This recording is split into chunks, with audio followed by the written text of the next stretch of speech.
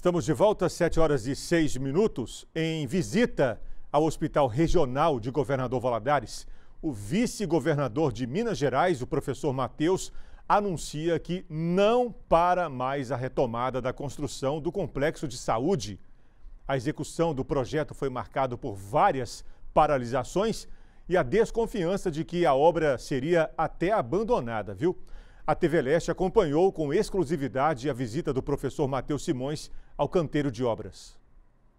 A visita do vice-governador de Minas Gerais, professor Matheus Simões, do Partido Novo, faz parte de uma série de vistorias que ele tem feito em obras do Estado. Essa é a última que eu faço a vistoria é, presencialmente e o avanço é relevante. Eu tive aqui antes das obras serem retomadas ano passado, a gente percebe frente, as frentes de obras já bem abertas, então toda a parte de piso já em andamento, a parte de revisão de esquadrias também em andamento. Estamos desmontando os drywalls para começar a remontagem ainda nas próximas semanas e com isso eu posso garantir que o cronograma está sendo cumprido. As obras do Hospital Regional de Governador Valadares começaram em 2013, mas foram paralisadas em 2016. Após vários adiamentos, os trabalhos trabalhos foram retomados em março deste ano.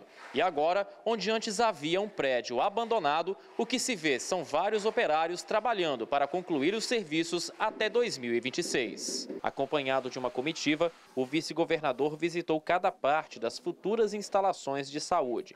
Após a vistoria, ele deu atualizações sobre o andamento das obras. A localização do hospital às margens da rodovia, inclusive, facilita esse acesso para não só desafogar o sistema de saúde de Governador Valadares em si, obviamente, o municipal, o samaritano, Nossa Senhora, eles todos vão ser beneficiados por isso, que a gente consegue trazer pacientes para cá.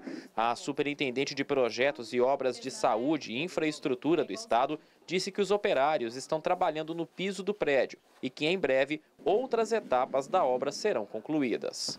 O futuro hospital vai funcionar em uma área de 46 mil metros quadrados, com uma estrutura gigante para atender a demanda de mais de 50 municípios. É uma estrutura bem robusta, são 226 leitos.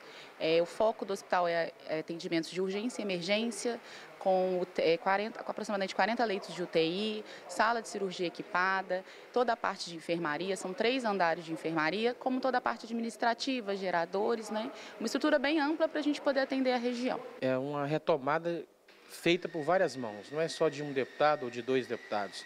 É, os deputados da base que são votados aqui na região e, claro, a sensibilidade do nosso governador Zeme, nosso vice-governador professor Matheus, sobre a demanda dessa região. Parte dos recursos utilizados para a conclusão das obras do Hospital Regional de Valadares vem da compensação pelos danos causados pelo rompimento da barragem de Mariana em 2015. O vice-governador foi enfático ao garantir que acompanha a obra pessoalmente e que ela não será mais interrompida. A população de Valadares, região, não precisa ter medo, essa obra não para mais por questão de recurso, é um compromisso do governador Romeu Zema entregar os cinco hospitais regionais e este está na nossa prioridade. Deveria ser o primeiro, só não será o primeiro porque nós tivemos um problema com a contratação anterior, tivemos que relicitar é, o projeto, mas a obra está correndo bem agora, sem nenhum percalço.